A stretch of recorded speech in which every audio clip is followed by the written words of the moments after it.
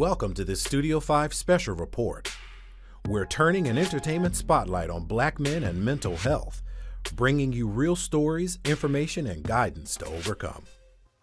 Welcome to Studio 5. At the end of our show each week, I ask you to take a moment to uplift someone around you. And that is my aim this week in a serious and personal way, taking a closer look at black men and mental health. Some would say we are in a crisis. Studies show African American men who neglect their mental health are more vulnerable to drug abuse, alcohol use, homelessness, incarceration, homicide, and suicide. We've seen high profile cases in the entertainment industry, like The Ellen Show's Stephen Twitch Boss and Master Chef contender Josh Marks. These lives and losses touched me deeply. Stephen Boss was known to millions as simply Twitch he was a dancer, actor, and television producer. And he competed in Star Search, and so you think you can dance.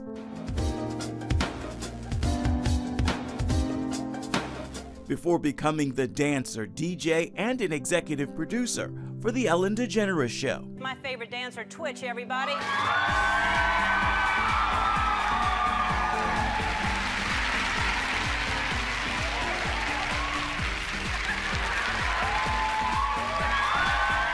From the outside, many believed he had it all a great career, a growing family, and a glowing personality that lit up the room. But at age 40, Twitch shot himself, shocking his fans and family, a wife and three children.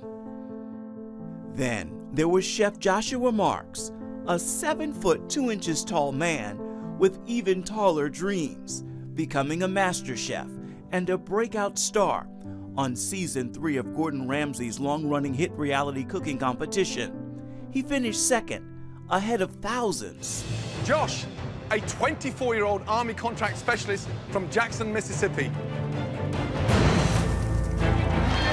He shot into this competition bursting with confidence. How would you rate that out of 10? I would rate it 10 and a half.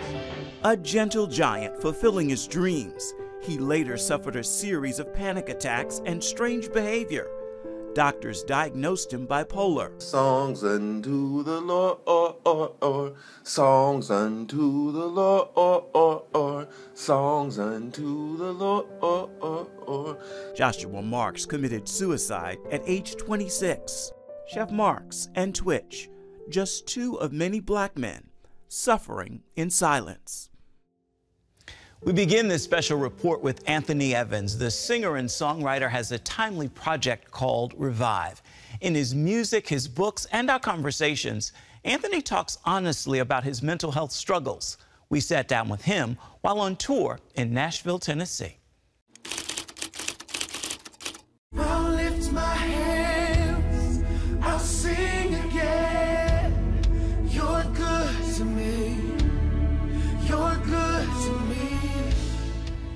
Now got a new single out yes. that's sort of introducing us to the new project. Yes. Even if it's the new song.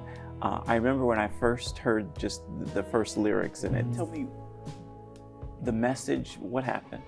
The message, actually, when you mentioned those, the first line of the song, mm-hmm. which is, "I'm being honest. This is the hardest song my heart will have to sing." I'm being honest. This is the hardest the hardest song my heart will sing. Even if it's a song that was birthed out of the loss of our mom. Dream stolen. How do I say what I don't mean? And there came a point in my life in my career where I had to make a decision. Do you really, at this point, with, with the with the new level of things that are going wrong in life, do you believe what you are singing? Mm-hmm. And I, it was it was that's why it was the hardest song my heart had to sing because I made a choice that God, you have tragically and taken some people from our lives, including our mother, and I'm still going to worship you in spite of that. But that was not an easy so easy conclusion to come to. Mm-hmm. So that's the song is is about not just loss, but a lot of us have our grief scenarios. I was just talking to a friend of mine who got a message from her husband that he's like, I'm out of here I, after 23 years. And that's her even if. She's like, God, even if this is not restored the way I see it, will I still worship you? So that's that's the the new the new song. All of us have an even if scenario, and I wanted to kind of approach this album and new singles as honestly as I as I can. As I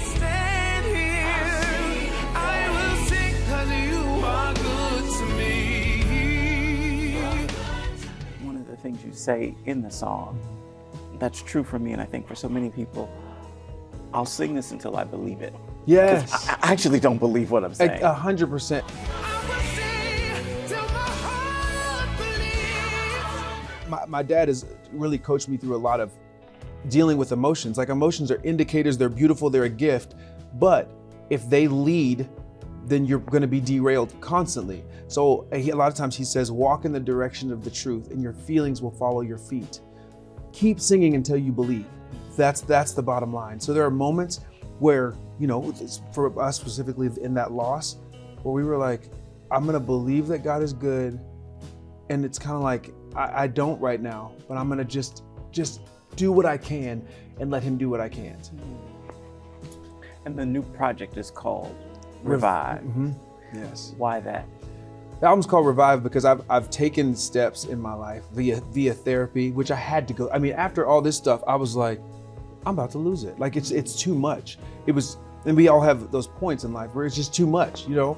And I had to make a decision: Am I going to allow this too much to to take me down, or am I going to do what I can? And and there were moments where all I had was it took everything in me to sit down with my therapist and talk through this stuff. I mean, I was just like, I don't want to talk anymore. I don't. But I would have those moments, and then God would like magnify those moments. He, he would take my effort and multiply it. You always saw the best in me. You're always there when I'm in need. Would this be the first album without your mom present? Yes. Which it yeah, it just feels crazy. It feels crazy because the the um, the weight and the intention behind what I'm doing has drastically changed because she was the one that said you have a very special voice and a, and a gifting that you should be using back when I was 12. You know, it, it, it really does hit deeper. This is my thank you.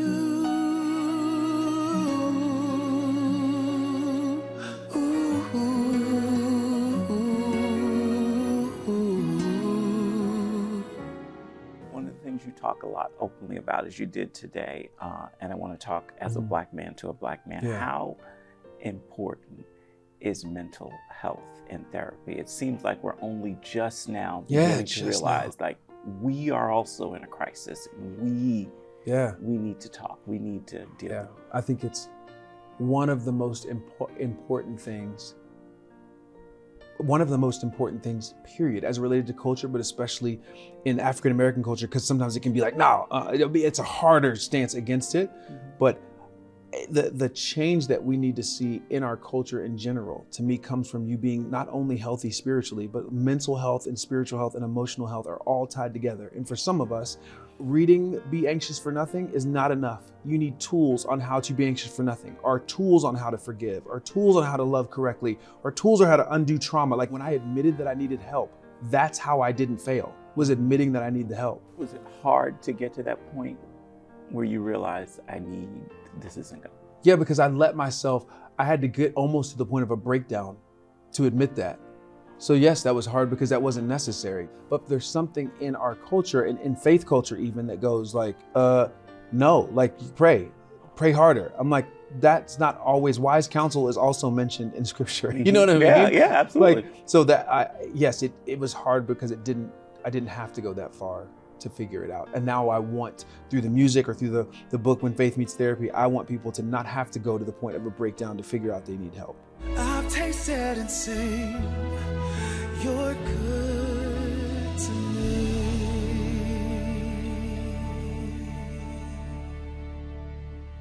You can read more on Anthony's journey in his book, When Faith Meets Therapy. He also has a memoir, Unexpected Places Thoughts on God, Faith, and Finding Your Voice.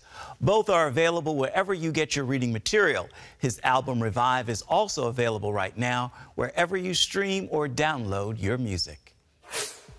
When our Studio 5 special, Black Men and Mental Health, continues, What makes you so open about your mental health struggles? Because I I know what it's like, you know, to suffer in silence. I went through a horrific kind of mental health journey, and it's something that I always have to manage for the rest of my life. Hip hop artist Lecrae talks about his battles off stage depression, anxiety, and alcohol. Welcome back to this special edition of Studio 5. We're turning the spotlight on black men and mental health with the help of incredible voices in the entertainment industry. Hip hop artist Lecrae has been open about his battles with anxiety, depression, alcohol, drugs, and the work it takes to deal with each of them. We traveled to North Carolina to sit down with him backstage while on tour.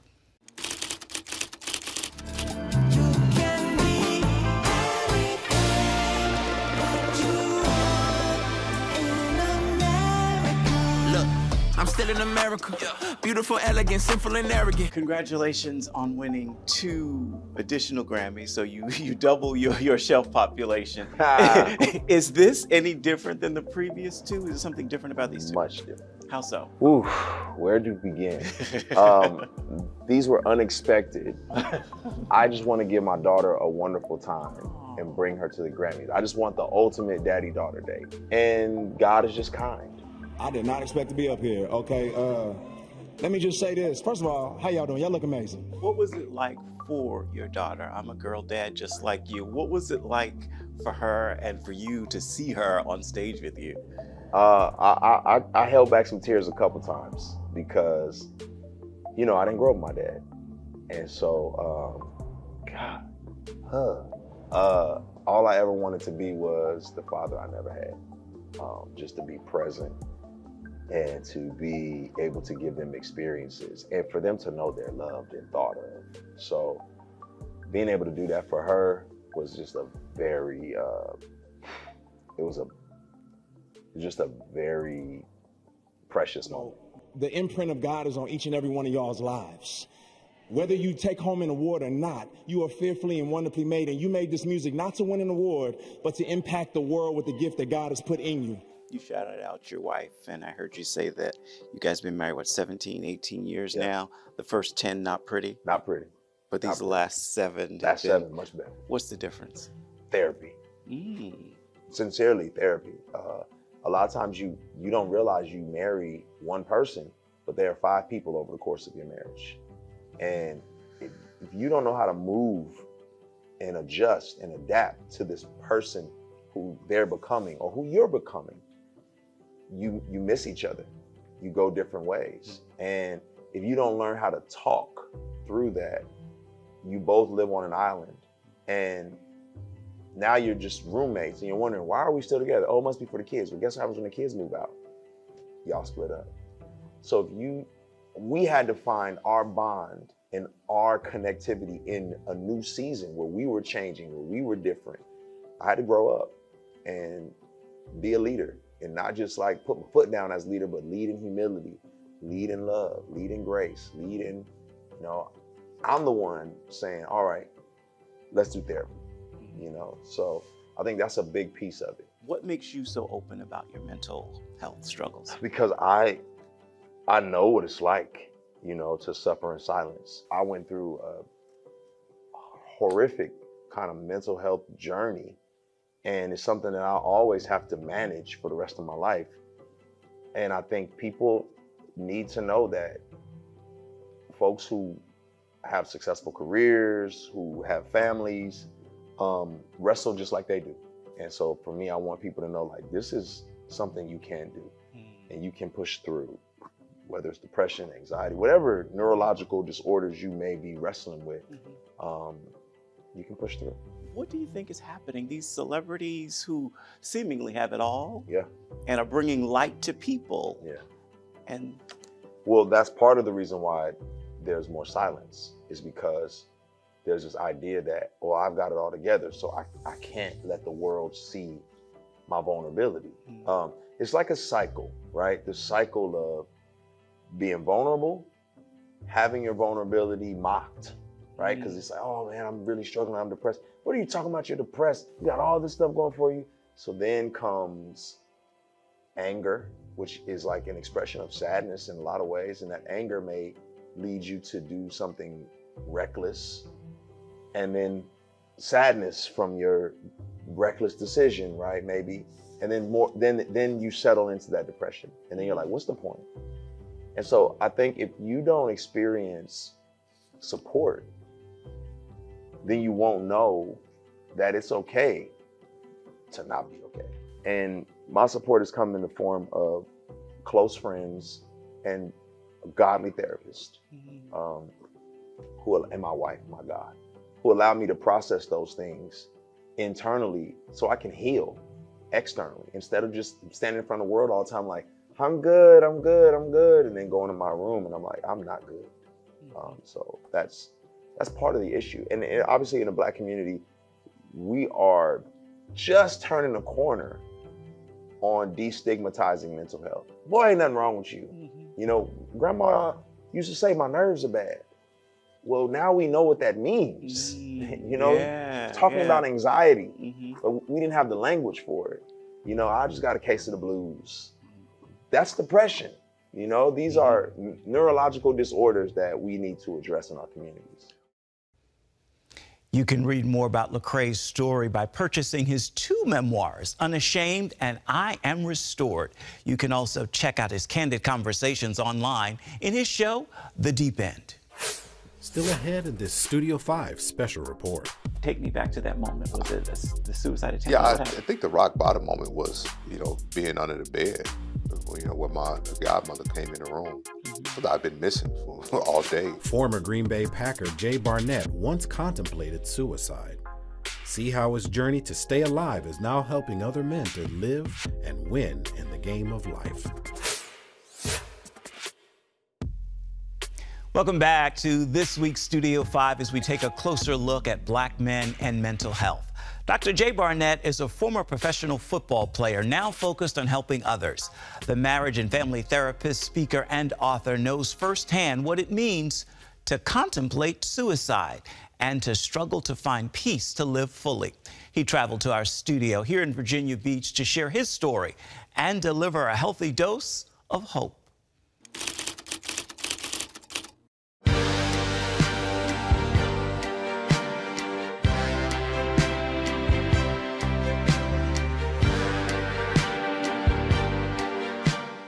Basic question for me is how do we go from football to therapy, if you will?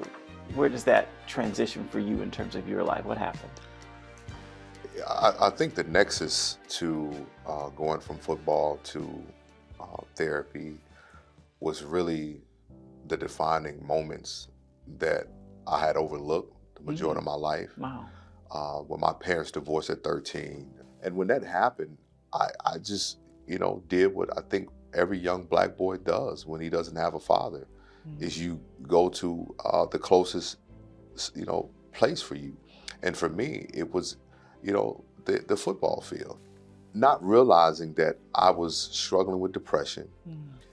as many of us do as men. We hide in places where no one would see us, mm-hmm. but also we're being seen in some capacity. It wasn't until after uh, the second suicide attempt that I had that I really began to say, okay, I, I need to get some help.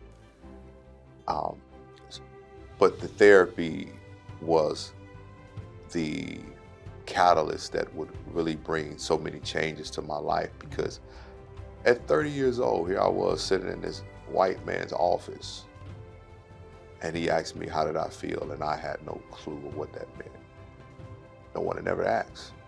What was the rock bottom point? Was it take me back to that moment? Was it a the suicide attempt? Yeah, I, I think the rock bottom moment was, you know, being under the bed, you know, where my godmother came in the room. Because I've been missing for all day. And um, and um, I had taken, you know, so many pills. This is where I was, and and and this is is for somebody. I was in so much pain. I didn't care where I ended up. And when you think about suicide, when we've studied individuals who have died by way of suicide, when you listen to the patterns of what they're saying and listen to their thoughts. Like it's very calculated. Mm-hmm. And when people says, "Well, I, I can't believe he did this," like, "Oh, he's been thinking about this for a while. She's been thinking about that for a while. Today was just today." How about the moment of conversation with God? Because obviously there's been a spiritual awakening for you as well since. Yeah. What happened? He said, "You got to trust me, Jay." And um, and I'm in tears, and I'm I'm just sitting there, and I mean this this presence is just so strong. I can't stop crying. And he says, "I promise you, I will use all of it." He said, "There's a great purpose and a great calling I had on your life," and I just remember crying, saying, "God, why me?" And something in me was so convinced that the promise sounds so much greater than the pain. And and trusting him was not easy because it was me saying, I have to surrender. When it comes to talking about mental health um, and doing the work that you've done and that you're continuing to help others do, what advice would you give, especially to black men, um, with dealing with our stuff? Yeah. What should, why is this important? Yeah, It's important for us as black men because uh, we've been bred to feel that, you know, we're just machines.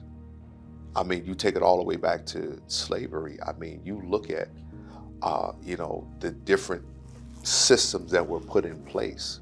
So, historically, as black men, there hasn't been anything in place that has focused on our mental and psychological, emotional well being. And so it's important that we continue to not only just have conversation, but black men like us are seen. How do they begin to navigate the steps of, okay, I've never been to therapy. I don't even know what a therapist is. Where do I begin this process of getting the help I need? Yeah. Step one is identifying where it hurts, identifying where you can see where the changes begin or where the change happened.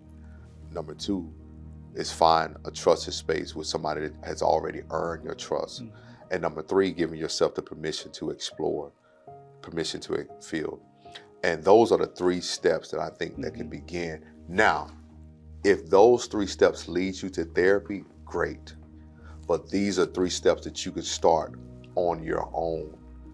And to the brothers that are watching, you have to sit still. So your soul, your body, and your spirit can all come in alignment to begin to deal with those things. Dr. Jay Barnett is the author of several books, including Hello King. You can purchase his books wherever you get your reading material. Welcome back. You're watching Studio 5, a special edition. You know, music helps us to bring you this show every single week. And this week's soundtrack comes from Jonathan McReynolds and Marvin Winans. Take a listen, and you'll hear why Able is what's playing in my ear this week. It's a great reminder in this Studio 5 special report. Time and time again you prove I can always count on you. You are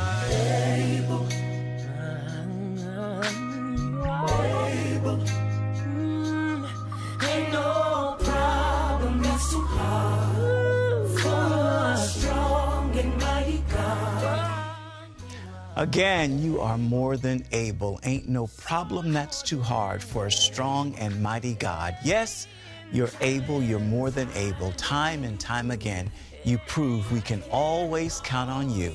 You're able. On that musical note, we've got time for just one more word, the final word. We want to give that to Anthony Evans.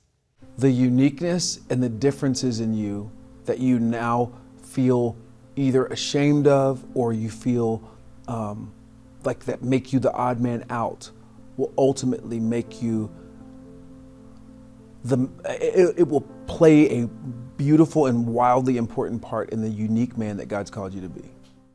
Anthony, thank you. That is a great final word for this Studio 5 special report. Until next time, I'll end as I began this week, encouraging you to make time to uplift someone around you. And then please come on back and see where Studio 5 takes you next week. Bye bye. Thank you for watching. God bless. If you or someone you know is struggling with a mental health crisis, there is help available. Please call the Suicide and Crisis Lifeline by simply dialing 988.